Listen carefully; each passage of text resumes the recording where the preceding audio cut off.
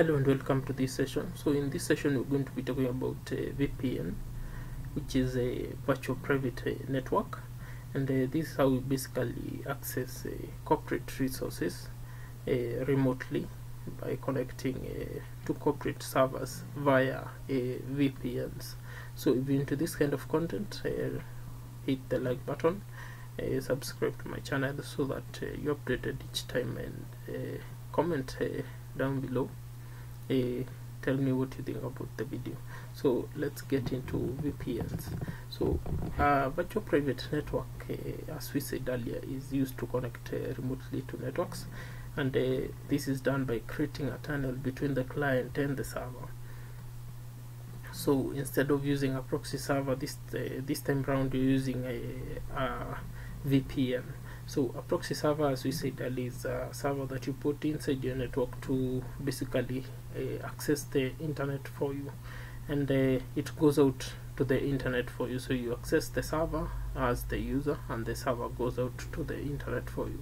But this time around uh, you as the user goes directly to the server that uh, you want to access but uh, via a virtual private uh, network.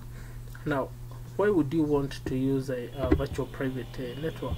Now remember in the proxy servers there is uh, what you call as uh, logging and this way we store information about uh, what each user has been doing uh, on the internet uh, via the proxy server.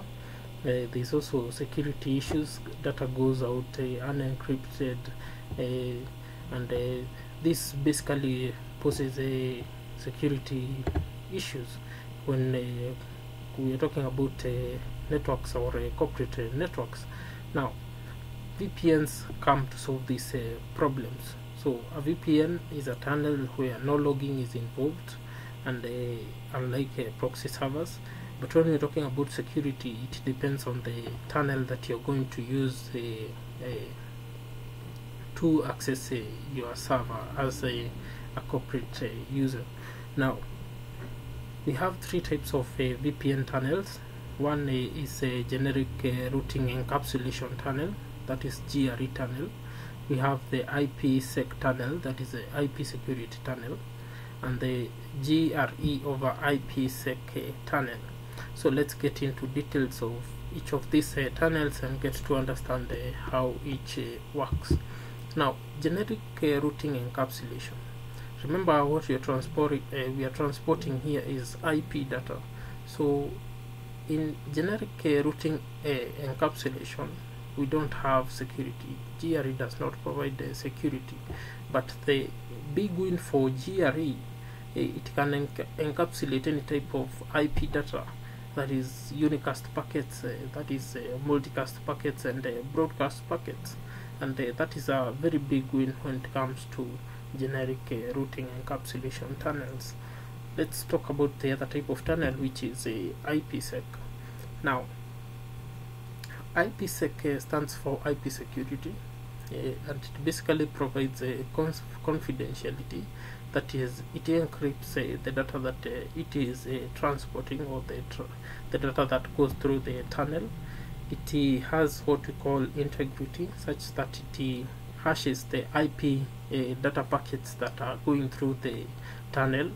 We have uh, authentication uh, using uh, public uh, shared keys or uh, digital signatures, and what we have what we call anti-replay, which means that serial numbers are applied to packets such that when they are going through the tunnel, they are labeled and they server is able to get the packets in order uh, of uh, transmission.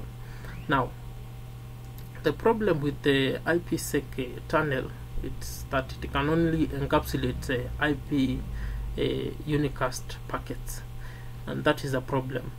And uh, we are going to solve this later using GRE over IPsec and for, but for now let us uh, continue looking at uh, IP security.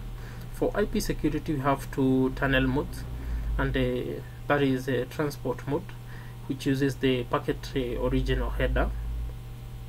And for tunnel mode means that the uh, header or the IP uh, packet is given a, an entirely new header and uh, this uh, is this helps when uh, helps when you are transmitting or eh, eh, uh, uh, retransmitting uh, eh, these packets.